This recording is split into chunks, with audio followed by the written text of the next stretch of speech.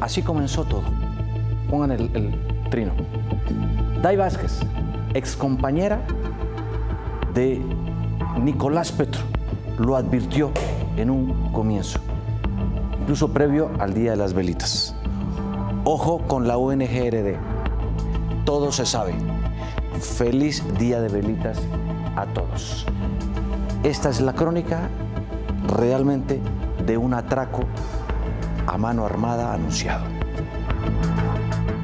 Estos milagrosos carrotanques para apagar la sed en La Guajira, la gota que derramó el vaso del escándalo.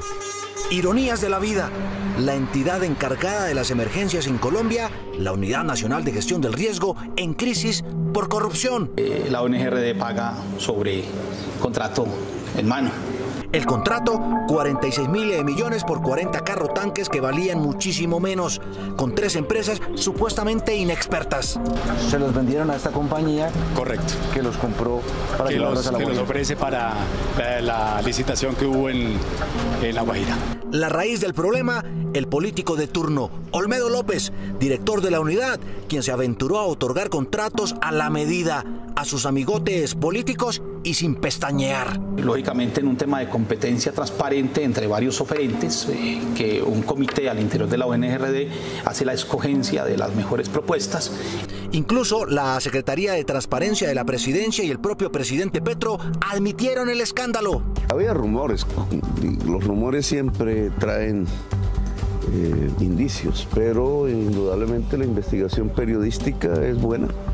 El segundo al mando, mano derecha de Olmedo, Sneider Pinilla, fue despedido y se convirtió en el chivo expiatorio de la situación y soplón de la fiscalía. Al presidente eh, del Senado se le tenían que entregar 3 mil millones de pesos. En una entrevista con Daniel Coronel, Pinilla soltó la lengua. Confesó haber repartido dinero en efectivo a prominentes políticos como el presidente del Senado y de la Cámara, señalando a Sandra Ortiz, consejera presidencial para las regiones, como el presunto contacto clave de todo este sospechoso entramado. Era en, en maletas. Eh, ella vive en el Tequendama Suite, ahí en donde son como las residencias. Además, Pinilla habla de dos ministros. La unidad de gestión de riesgo maneja un jugoso presupuesto de más de 600 mil millones de pesos al año. Esta entidad contrata rápidamente para atender las emergencias y perder tiempo en burocracias, pero ahora nos damos cuenta de que tanta eficiencia ha desembocado en una inesperada crisis de corrupción. El recién nombrado director de la Unidad Nacional de Gestión eh, del Riesgo, Carlos Carrillo, dice esto. Encuentro contratos y contratos por cientos de millones de pesos que fueron firmados por el señor Sneider Pinilla, el ex subdirector de esta misma unidad en la era de Olmedo López y que hicieron aguas con el dinero de todos nosotros, de nuestros impuestos, presuntamente. Pues en esta entrevista habla, entre otras cosas, de este incendio de corrupción. Lo reconoce abiertamente. Además, eh, dice que esta entidad estaba en manos del ex alcalde de Medellín, Daniel Quintero. Y además también se refiere a los señalamientos que hacen porque nombró como secretario general, es decir, su mano derecha, a, eh, a un sobrino del actual presidente del Senado, hoy cuestionado por estas coimas. Doctor Carrillo, ¿qué tiene usted que decir frente a todo este escándalo que ha estallado en el país? Vea, yo creo que la corrupción en la clase política es estructural y es algo que no iba a cambiar el 7 de agosto del 22 solamente porque nosotros, una propuesta alternativa, ganó. Esto es, eh, digamos que un tránsito hacia un país en donde se respeten los recursos públicos. Y la gran diferencia de este gobierno con los anteriores es que a diferencia de lo que ha pasado sistemáticamente, en donde los escándalos de corrupción han tratado de disimularse o de, ocultarse, el señor presidente tomó la decisión de ponerme al frente de esta entidad que estaba pasando por un momento tan tormentoso justamente para colaborar con la justicia, con los organismos, con los organismos de control y para que las personas responsables de esto eh, paguen. Pinilla, el subdirector, advierte sobre entrega de coimas, 3 mil millones a los más altos digamos, congresistas de este país que presiden nada menos que el Congreso de la República en las dos cámaras. Eh, eh, eh, ¿Eso qué muestra, doctor Carrillo? ¿El Congreso pues realmente está mermelado?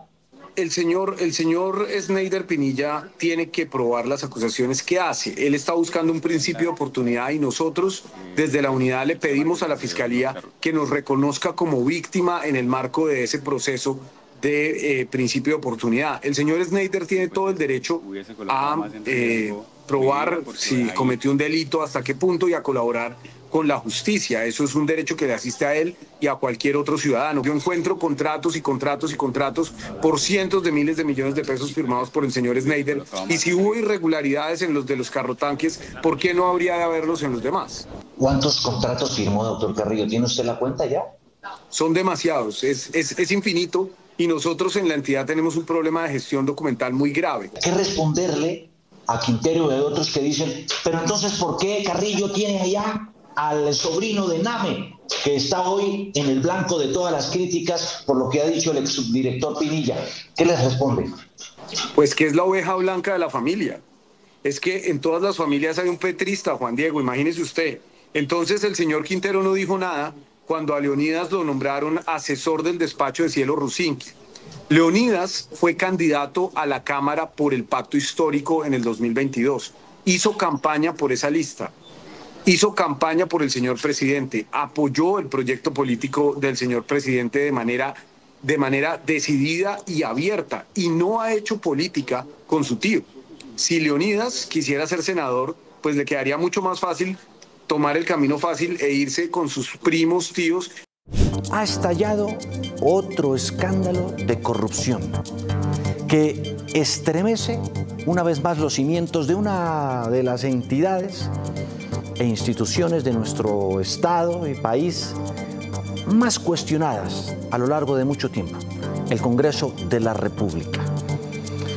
Uno de los soplones de la Fiscalía, colaborador del escándalo de los carrotanques de agua para la Guajira, decidió romper eh, su silencio.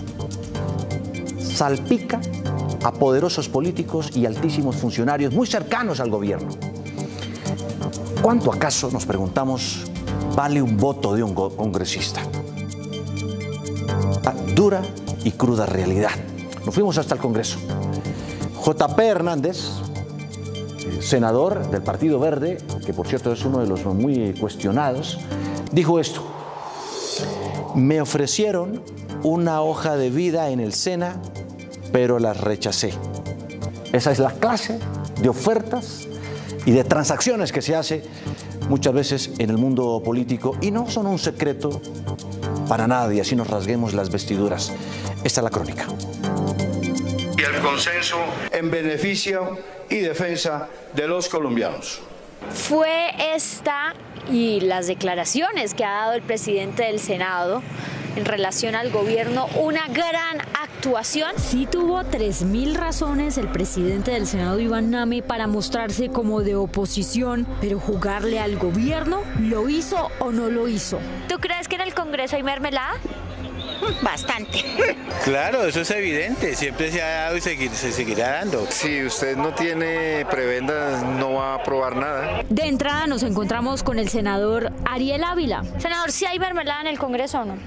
Claro, en, el en, todos los congresos del mundo se ofrecen dádivas eh, privados y públicos para votar X o Y proyecto de ley. ¿A usted le han ofrecido dinero? No, a mí nunca me han ofrecido dinero.